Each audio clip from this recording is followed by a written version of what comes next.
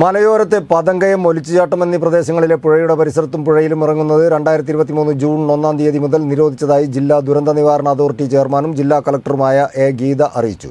നിരോധനം ലംഘിക്കുന്നവരിൽ നിന്നും ആയിരം രൂപ പിഴ ഈടാക്കുകയും നിയമ നടപടികൾ സ്വീകരിക്കുകയും ചെയ്യും.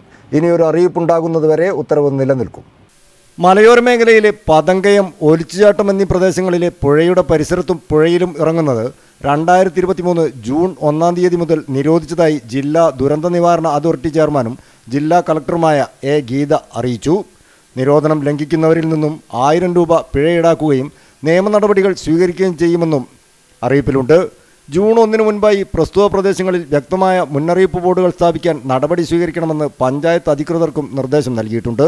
സ്വകാര്യ ഭൂമികളിലൂടെ വെള്ളച്ചാട്ടത്തിലേക്ക് പ്രവേശിക്കുന്നത് തടയാൻ അതത് ഭൂവുടമകൾ ശ്രദ്ധിക്കണമെന്നും കലക്ടർ നിർദ്ദേശിച്ചിട്ടുണ്ട്. ഇനിയൊരു അറിയിപ്പുണ്ടാകുന്നതുവരെ ഉത്തരവ് നിലനിൽക്കുമെന്നും കലക്ടറുടെ ഉത്തരവിൽ പറയുന്നു. ന്യൂസ് ഡെസ്ക് സി പ്രാദേശിക വാർത്ത.